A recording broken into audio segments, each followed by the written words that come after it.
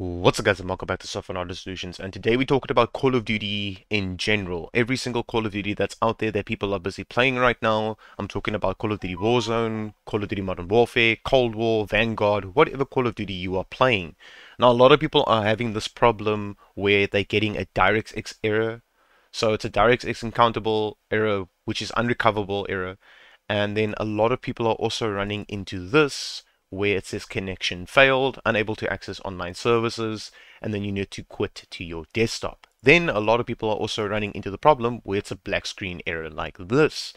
Now I've taken all these screenshots to, sh to show you that a lot of people are running into these type of problems. Now I've been running into a problem where I open up my Battle.net, I go and play the game. While I'm in the game, my game crashes, it goes din all my screens go black, and I press Control Delete to open up my task manager to force close the game. It doesn't work. I literally need to restart my whole computer.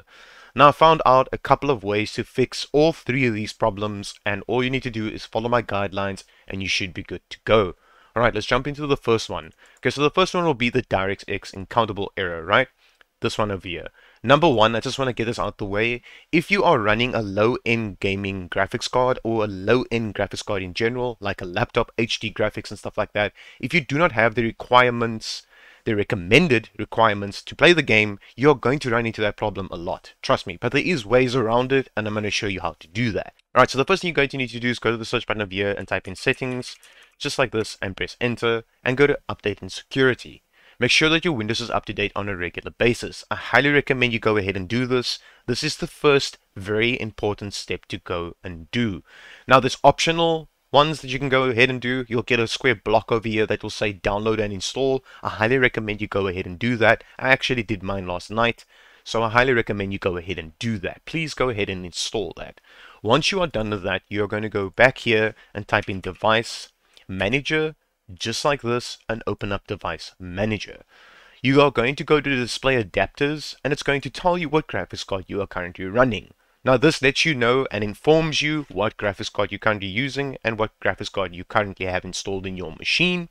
If it is a dedicated graphics card, if it's a built-in graphics card like laptops, whatever the case might be, you're just going to right click on here and say update drivers. You're not going to say search automatically. You're going to say browse my computer for drivers let me pick from a list of available drivers on my computer and you're going to select your graphics card itself and say next. Now I'm not going to do this because it's going to reinstall my graphics card drivers from over. So what it's going to do is it's going to do a fresh install for your graphics card drivers. I highly recommend you go ahead and do this if you're running into a DirectX problem.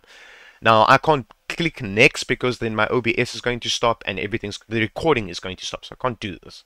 So just to inform you people, highly recommended to go ahead and do this reinstall your graphics card drivers from overs. Now, there is another way of doing this. Um, for people out there that don't know what graphics cards they're running and stuff like that, you just come here and it will say display adapters and it will tell you what graphics card you are currently running. Now there's another way of installing your graphics card drivers from overs and actually reinstalling the drivers and then also it will give you options like for instance if you're a NVIDIA user, an AMD user, uh, Intel HD user, whatever the case might be, you can go ahead and do different types of things on the website where you go and download your drivers. For instance, I'm just going to open up Google Chrome and I'm just going to do this RTX 2060 just like this driver download. So as you can see, like I said, that's my graphics card I'm currently running. You are going to type in your graphics card and then driver download and then it's going to give you the first option will be the place where you want to be. So this is where you want to be and as you can see it's already selected my graphics card for me. I don't have to still click inside here. Just make double sure that it is your graphics card that it's looking for. Then you click on search. Once it's done, you click on download and you go ahead and install a fresh copy of your graphics card drivers. Now, if you're a NVIDIA user like me and it gives you an option to install GeForce Experience, I highly recommend you go ahead and install it. It's very important to have this application on your machine. No, it's not important to have this application on your machine to run your games through this application. It's actually important to keep your graphics card drivers up to date. So you go to drivers, click on check for updates, and it's going to say checking for updates. You have the latest GeForce Game Ready drivers installed. Now, it will just let you know that you have the latest drivers installed. And if you do click on here and it tells you that there's a new driver, all you need to do is click download, express installation, and download and install your graphics card drivers. The nice thing about GeForce Experience is it will let you know in the corner over here with a yellow little dot over here, it will let you know when a new driver is released. Okay, now I'm going to leave a link in the description down below for the DirectX install for you to go ahead and download every single DirectX that's ever been released. Now I'm going to leave a link in the description down below. All you need to go ahead and do is click on the link in the description down below. I'll call it DirectX install and then just click on the website, go and download DirectX and reinstall DirectX. Every single version that's ever been released, install it. I highly recommend you go ahead and do that.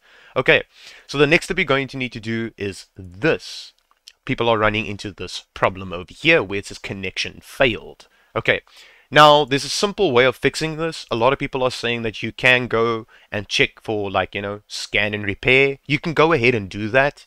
Um, scan and repair your game files and see if that works. If it doesn't, you are going to go ahead and do this. Go to show in Explorer like this and go to your Call of Duty where it's installed, okay?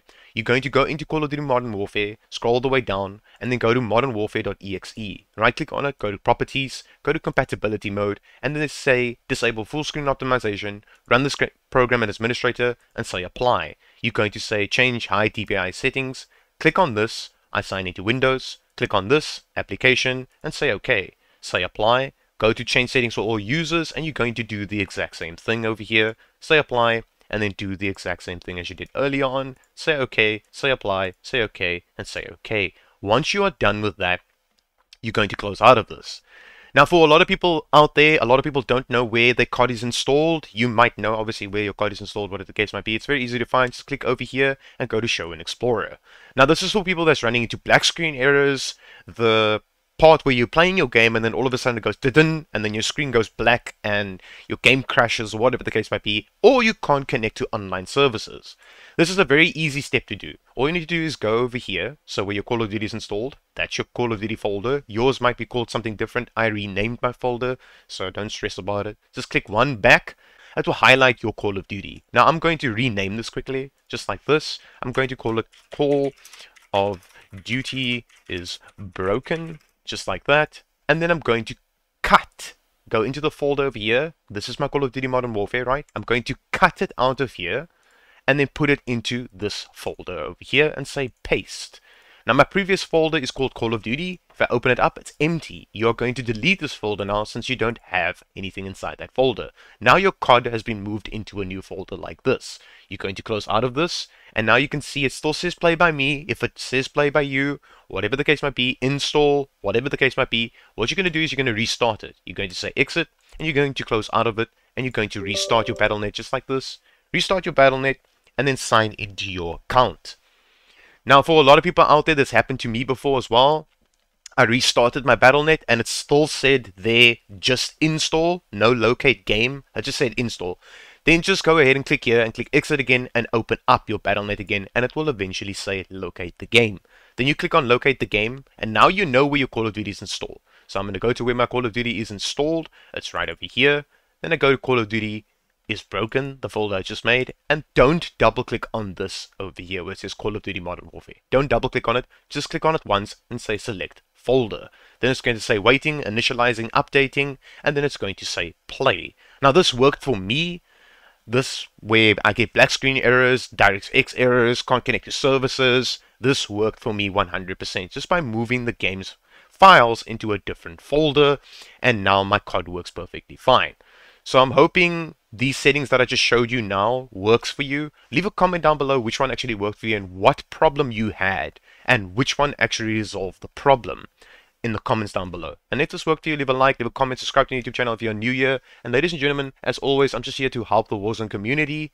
And as always, peace out.